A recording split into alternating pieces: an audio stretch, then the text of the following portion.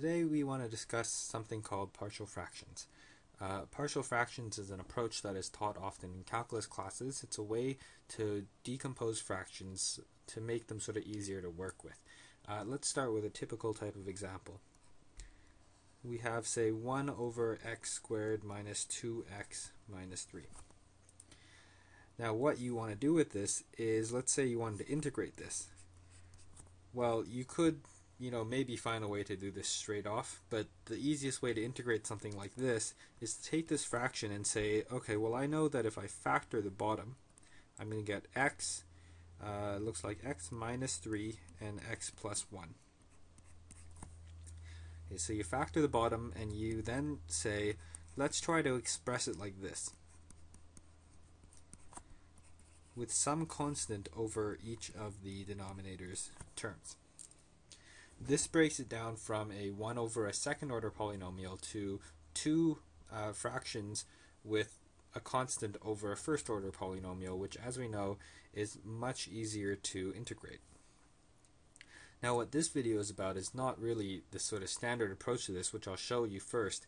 Uh, it's more about a, a, sort of neat, clever way that we can do these partial fractions a lot quicker um, using a totally legitimate mathematical uh, method that will allow you to sort of get through this much much more painlessly. Uh, it's it's a real help on exams and that kind of situation when you're when you're sort of pressed for time. Um, you don't have time to solve a system of equations.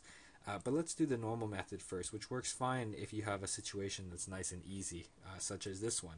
What we typically would do is we would multiply everything by the denominator here, x minus 3, x plus 1.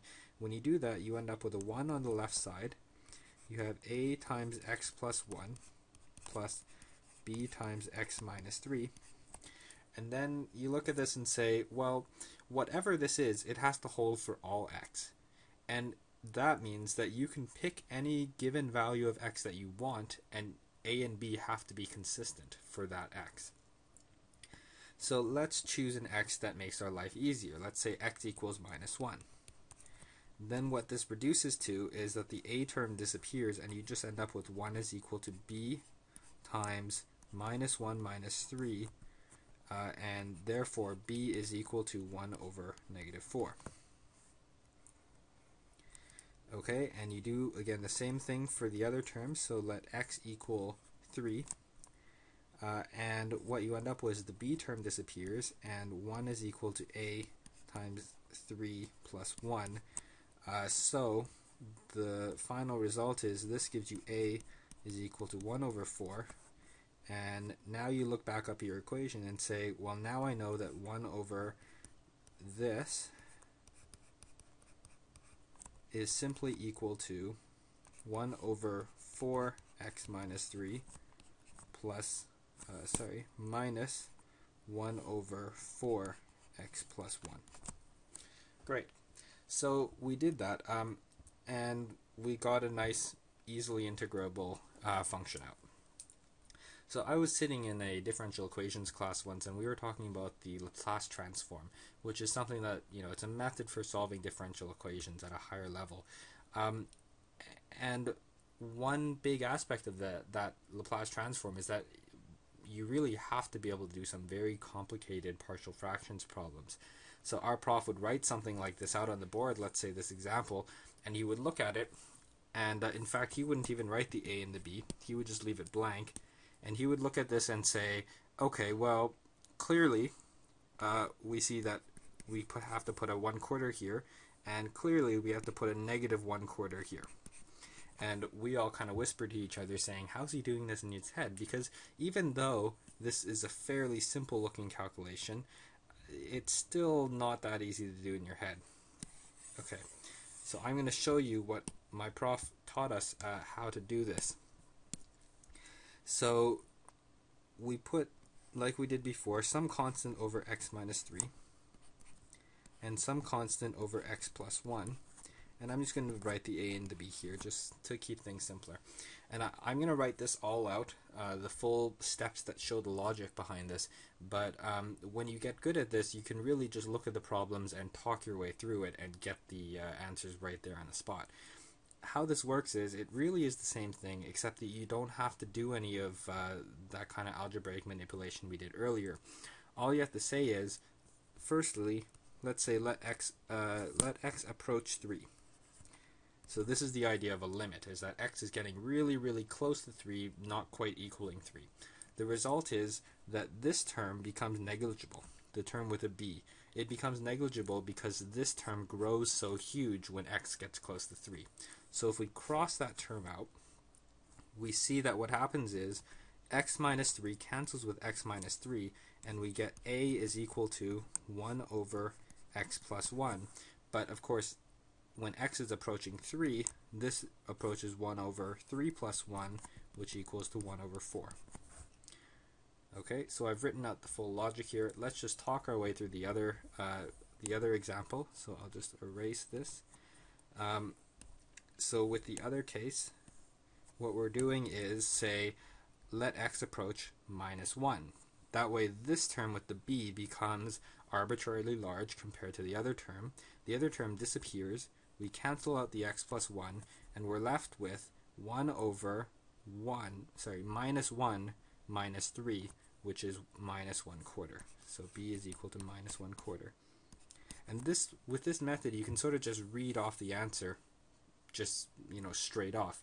Now you might say, okay, this is really just the same thing that we've been doing before, um, except that you're doing this in the denominator instead of multiplying everything through. Let's take a look at another example where this approach might be a little more useful. So I've prepared this example. x squared plus 1 over x squared plus 2 times x. So this looks a little bit more daunting. Um, the rules of partial fractions, and there, there are many rules of how to approach these questions, but the rules for this one will tell you that because this is really a quadratic term, you have to write as plus, sorry, ax plus b over x squared plus 2 and this is just a normal term, so you just write c over x, just like we had with uh, previous cases. Now there's a there's one trick that you can apply right away, which is another little uh, piece of arsenal that this prof taught us, is that you can look at this and say, by symmetry, I know b is 0. Now what do I mean by symmetry? If you look at the left, you see that this is a sum of even functions, so the numerator is even. This is also even, but this is an odd function. Now an even times an even times an odd gives you an odd function. So we know that the left side we have an odd function. That means that the right side also has to be odd. Note that if b were non-zero, b over x squared plus 2 gives us an even function. So that's not possible. So in this case, b must be equal to 0 by symmetry.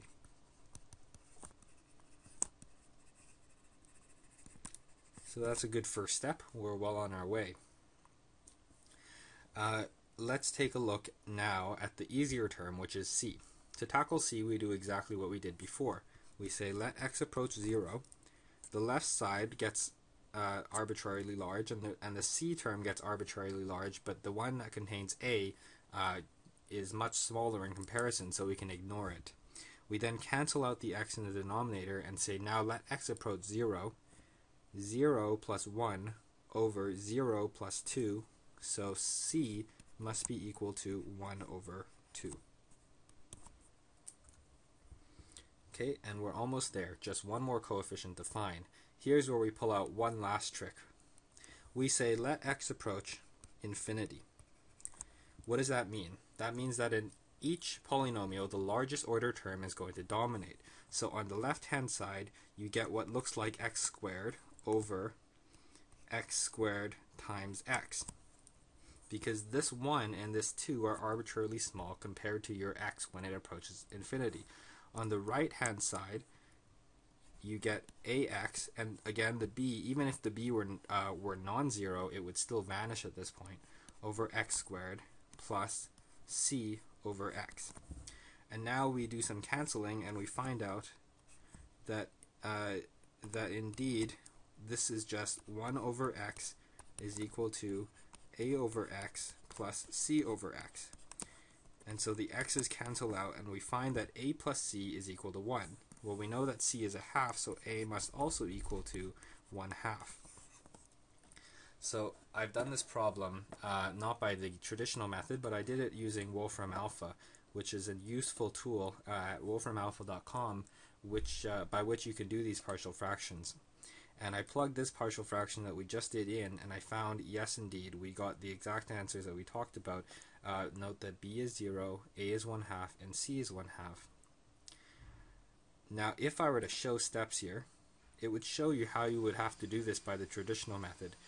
Note, this is exactly what we did before. You multiply everything by the denominator, you collect the terms, then you have to solve a system of equations because when you have uh, three terms, it gets a little bit more complicated than we, what we had to do before. And this is still the tip of the iceberg. Using this approach, you can greatly simplify partial fractions that have four terms, five terms, uh, six terms that you have to, to deal with. In this case, we just had to solve for a, b, and c, and it turned out that b was 0, as you can see here. But um, when you have a, b, c, d, e, and f, then you kind of get into hot water if you want to do it by this approach. And you'll find if you do it on Wolfram Alpha, the scroll bar becomes absolutely tiny because the solution takes so long to do. So, as a recap, what we did here was we allowed x to approach certain values to get close to certain values that made some terms significant and other terms insignificant. If I wanted to, I could have chosen other values entirely, like let x approach 1, and then just solve both sides and see what I get. And that's totally valid. It still gives me useful information. But if you know what to let x approach, say in this case let x approach 0 so that this term dominates, then it really simplifies things. So I hope this has given you um, a good understanding of a new way to do partial fractions that you might not have thought of before that could really save you a lot of time. Uh, in fact, for that particular course that, that this prof taught, um, there was a question on the final that really you had to use an approach like this if you wanted to get it done in the allotted time. Uh, so this could be really helpful for, for anyone who's having trouble understanding partial fractions uh, or who just wants a faster way to do them.